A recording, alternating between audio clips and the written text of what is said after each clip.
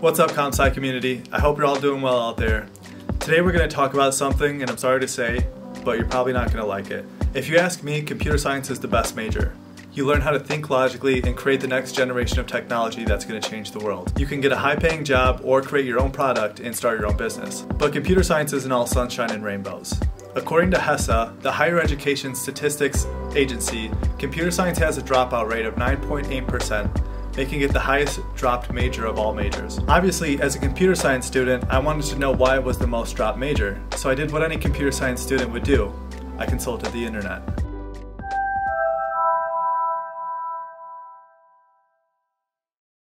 There's a thread on Reddit conveniently called Great Conversations on Why Computer Science Has Such a High Drop Rate. Now I'm just going to go ahead and read what some of the other uh, computer science students were saying.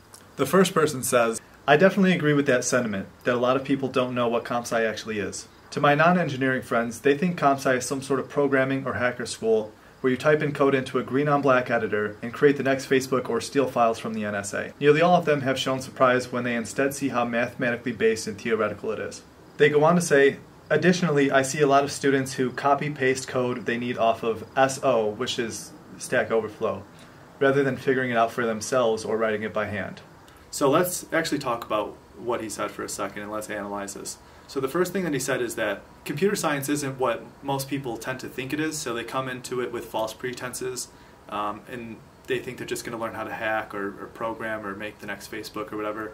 Um, and it's actually a lot more to it. For one, I underestimated the amount of math that was going to be in it, um, and I'll touch on that a little bit more later. And then the second thing he said was that a lot of people they get stuck on their programming homework, um, especially when they're first starting out, and they go immediately to Stack Overflow or somewhere else where they can just copy and paste the code or get, get the answer really quickly instead of figuring it out for themselves. I've actually done that, um, and I, I failed my first computer science class that way. I failed Intro to Java because I was getting caught up with calculus and it was just taking up so, so much of my time and um, I took the easy way out and I would just copy and paste a lot of code and I felt like I was learning it but when it came time to take the exam I realized how much I didn't know. Now let's move on to another one. So this person says, I think a lot of it also has to do with how different CS is than any other subject you are likely to have experienced prior to an Intro to CS course. Sure, it's math and logic based, but most people haven't had any sort of logic course previously, only after they start the CS courses. In other subjects, you have had previous courses that prepare you for the course. Even though you haven't seen the specific subject, they build off the previous courses you've taken.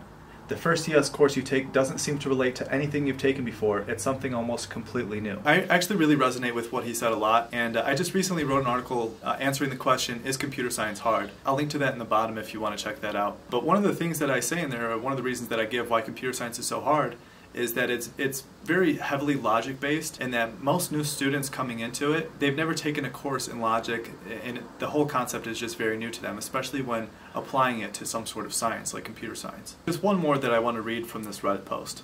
So this user says I actually know a lot of developers that dropped out due to the fact that they weren't learning in their classes. I know a Google developer expert of Angular who didn't even finish his associates. I hear stories like this on a daily basis. This is probably one of the less common reasons why people actually drop out, uh, but I've actually experienced this myself in some cases where the, com the computer science classes are just very theoretical, which can be really good, but when they're uh, not hands-on or when they're just too basic and you're at a more advanced level, um, it can really seem like a waste of time. And for somebody who has a lot more experience than say I do, um, which I actually don't have the most experience, but somebody who already has a lot of experience going into, into a computer science degree, the classes can be very beginner friendly, and in some cases too beginner friendly.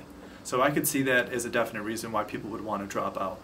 So before we wrap this up, there's two other things that I want to touch on that are really valid reasons why uh, computer science is a really hard major and reasons why somebody would want to drop it. So we kind of touched on this a little bit earlier, and that's the high level of mathematics that's involved in computer science. And it's something that really tripped me up personally. Calculus was really hard, and it took so much of my time that it distracted me from some of my other computer science related classes my first programming class, which I ended up failing because I was just spending so much time on calculus. And some degree programs require calculus 1, 2, 3, linear algebra, several other math classes. So it's, de it's definitely something that you need to be on the lookout for if you're considering majoring in computer science. The last thing that I want to touch on that you really need to have if you're going to major in computer science, I could definitely see people dropping out for this reason um, if they're not interested in it.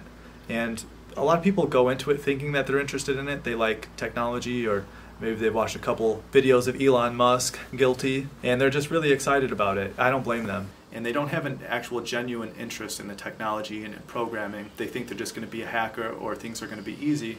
When in actuality, you have to have an interest in this, like a, a real, uh, almost obsession in technology and programming uh, in order to really succeed in computer science. So that just about does it. If you can think of any other reasons why you think computer science is such a hard major and why so many people drop it, feel free to comment below and be sure to subscribe and like this video. And we'll see you again next week. Thanks.